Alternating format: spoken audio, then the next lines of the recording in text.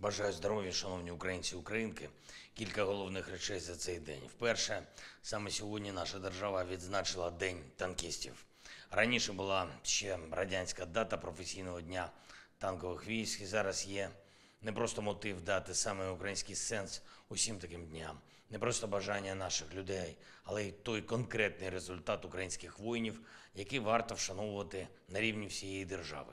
Відзначив наших воїнів-танкістів державними нагородами, солдатів, сержантів, офіцерів, наших найхоробріших воїнів, орденами Богдана Хмельницького, орденами за мужність, медаллю за військову службу України. Двоє воїнів, сержант Владислав Сімак та старший сержант Олег Паламарчук отримали хрести бойових заслуг за свою відвагу та результативність. Я дякую вам, хлопці.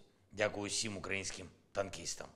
І дуже важливо, що наші танкові війська постійно прогресують, навчаються і застосовують в бою все більш передові сучасні танки. Будуть і Абрамси.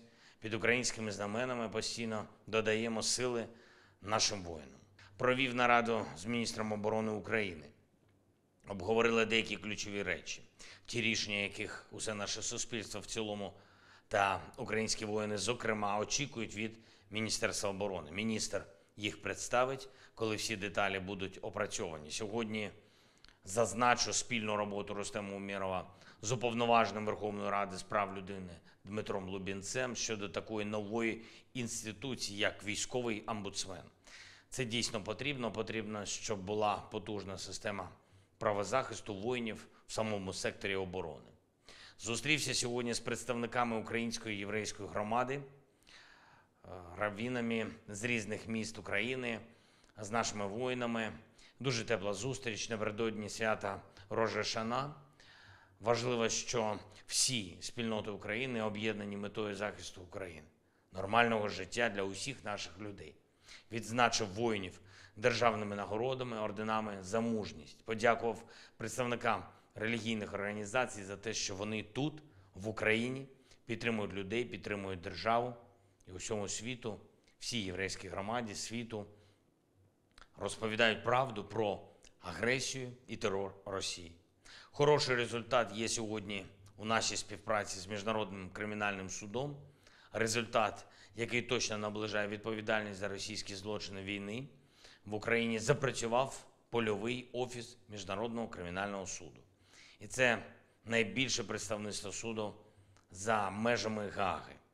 І дуже добре, що є повна та злагоджена співпраця між Офісом Генерального прокурора, всіма українськими правоохоронними інституціями та Міжнародним кримінальним судом. Саме така співпраця допомагає нам наближати момент відновлення справедливості для України і усіх наших людей, які постраждали від цієї війни. Момент законних і заслужених вироків для російських злочинців.